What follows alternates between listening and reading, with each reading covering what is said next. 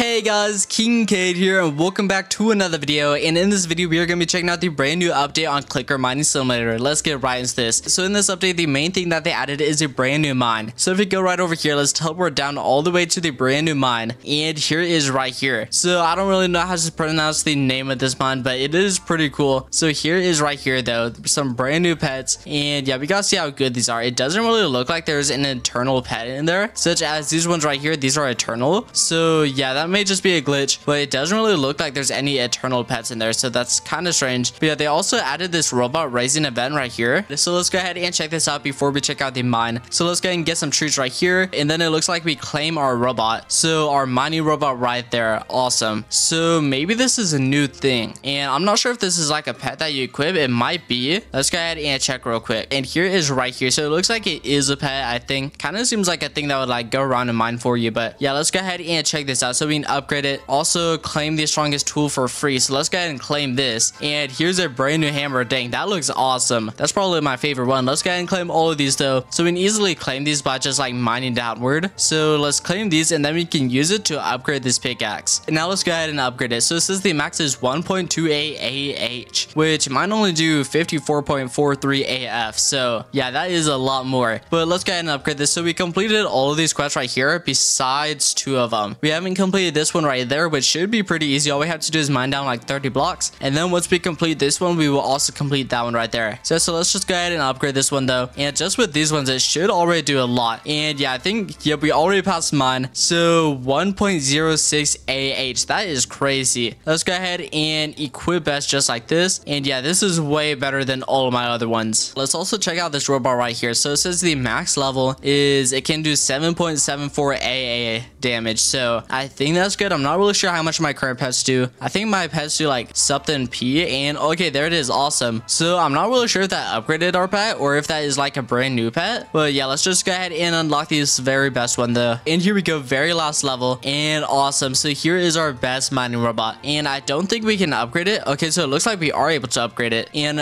okay, so I guess the max level must be like level 30 probably. So you unlock different robots at different levels and then we can level this one up to level 30 and awesome. So now that we have this, let's check out this pet. So let's just equip best because it's probably gonna be my best pet. So my previous best one's 215p and this one's 7.74 AA. That is crazy. So let's check it out. There is right there looking pretty nice. Now let's go ahead and see how much strength we gain per click. I'm not too good, so I don't think we get too much per click. So we get, I don't even know how much that is. It's going too fast. So we get about like 500 AV per click. That's pretty good. Let's go ahead and mine though. Let's see what the best pickaxe is from here. So water scythe. Okay, let's see how good that is. It's probably not too good. And 1.68 AF. All right, that's actually not too bad. Compared to these, it's actually kind of is bad, but like not too bad at the same time. Let's also unlock this area over here. And wait, what did that say? Dig all types of chests. And okay, so we have to dig all types. Okay, that's kind of strange. I'm pretty sure in the last area, we were just able to buy it. So yeah, that is kind of strange. And while we're mining, they also added a plus one pet equip quest in the candy mine. So let's teleport over there. So let's search for the candy mine. So over here, let's check out this quest. So apparently this will allow us to equip another pet. So over here, so the pet master. So we have to open 100,000 eggs, skip that. Dig 200,000 blocks, that is quite a bit. And then accumulate login for five days, also quite a bit. Let's claim this now and let's see how many pets we can equip. So we can now equip 10 pets. All right, awesome. So there we go. Let's equip that extra pet. Now let's teleport right back over here and let's keep mining just so we can go ahead and check out those chests. So we now finished destroying like all four types of the chest and now we unlock this giant chest over here. So let's go ahead and destroy this and let's destroy it once and then we should get enough for like another thing. And it looks like we can also AFK the egg right here. So it looks like this is the egg that has the eternal in it. So it looks like that egg over there doesn't, but this egg does. And not really sure if there's going to be another egg over there. Let's go ahead and break this though. And there we go. Pretty nice. And we now have enough to unlock this area over here. So let's go ahead and unlock that real quick. And all right, so it looks like there isn't another egg over here. Let's go ahead and destroy this and pretty easy. And all right, we actually got tons of coins from that. Let's see. And yeah, we're getting like 20 BB coins from that. And yeah, that is pretty awesome. And yeah, that chest is actually pretty easy to AFK, pretty easy to break as well. And yeah, that's everything that they added in this update though. So that's going to be all for this video. So go ahead and leave a like, subscribe, and turn on post notifications. And I'll see you in the next video.